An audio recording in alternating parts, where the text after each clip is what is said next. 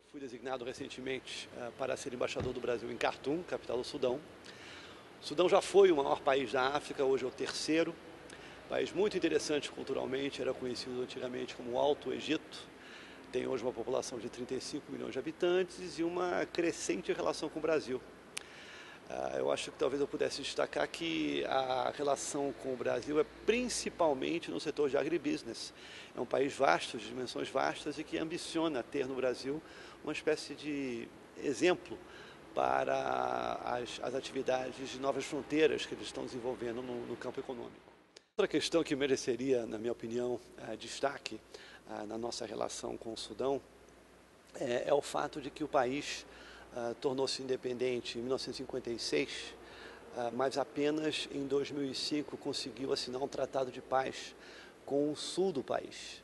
É um país que atravessou cerca de 40 anos de guerra civil intensa uh, e, por conseguinte, eles, eles miram no Brasil, eles, eles veem o Brasil como um, uma, um modelo, um exemplo a ser seguido. Aliás, nosso país é um país onde prevalece o Estado de Direito, onde, onde impera a paz.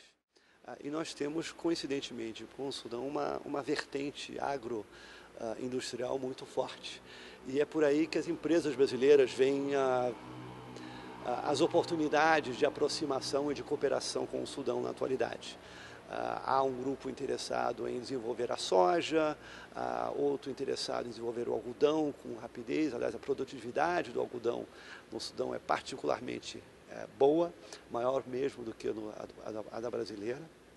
E uh, há outras oportunidades na exploração de petróleo, na mineração, há também uh, todas essas tecnologias sociais que nós estamos desenvolvendo no Brasil, uh, que uh, o Sudão vê como oportunidades para a cooperação mais intensa com o Brasil.